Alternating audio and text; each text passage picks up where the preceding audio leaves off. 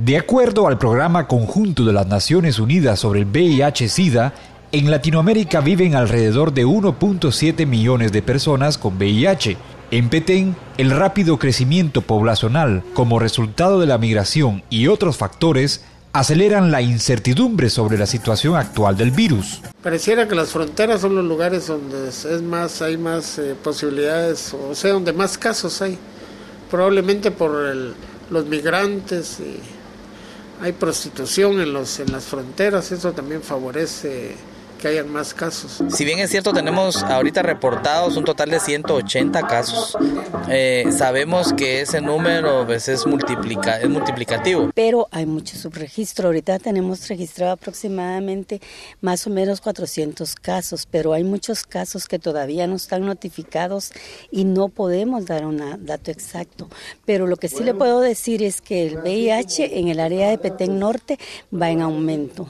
Actualmente, Petén no cuenta con una institución permanente de tratamiento adecuado. Entonces, ¿qué sucede con una persona cuando es detectada VIH positivo? Cuando sale positiva la prueba rápida de VIH, lo que nosotros tenemos que hacer es comprobarla por medio de un examen que se llama ELISA. Eso lo enviamos al Laboratorio Nacional en Guatemala. Inmediatamente se le da referencia ¿verdad? al hospital de Puerto Barrios en donde ellos reciben su medicamento.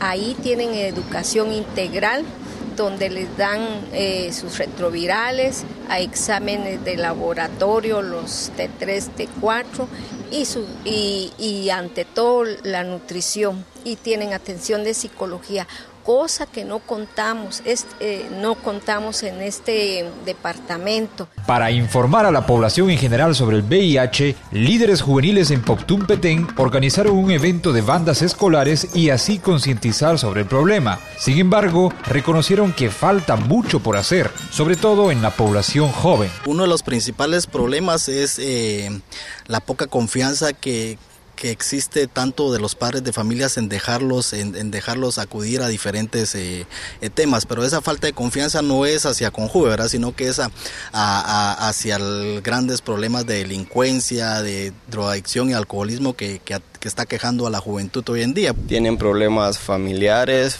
problemas de noviazgo y más que todo falta de información. Ellos no, no están muy informados de, de cómo van cambiando ¿verdad? En, la, en la adolescencia. Actividades como esta pretenden formar e informar a la sociedad sobre las consecuencias del VIH en la población.